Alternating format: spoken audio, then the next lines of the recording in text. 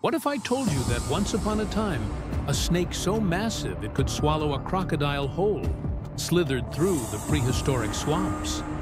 A creature so enormous that if it existed today, it would make even the largest anaconda look tiny in comparison.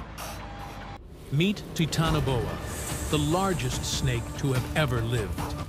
60 million years ago, deep in the humid rainforests of what is now Colombia, this monstrous serpent reigned supreme. It wasn't just big, it was terrifyingly big. Measuring up to 50 feet long and weighing over a ton, Titanoboa was the undisputed apex predator of its time. But how did it get this big? The answer lies in Earth's ancient past.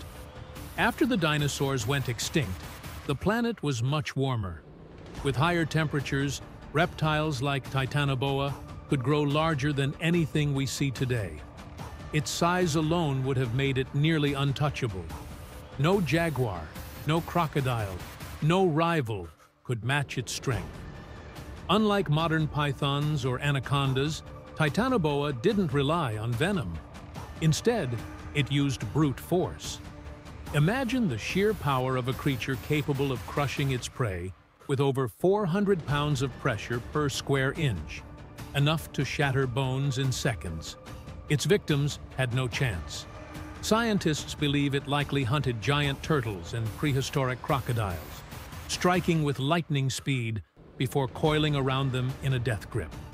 But if Titanoboa was so dominant, why did it vanish? The same warmth that allowed it to thrive eventually faded.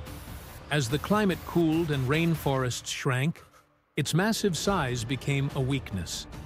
With fewer large prey and changing ecosystems, Titanoboa slowly disappeared, leaving only fossils to tell its story. Imagine encountering a Titanoboa today. Would humanity stand a chance against such a beast? Or would we be nothing more than another meal? With that said, thanks for watching, and until next time.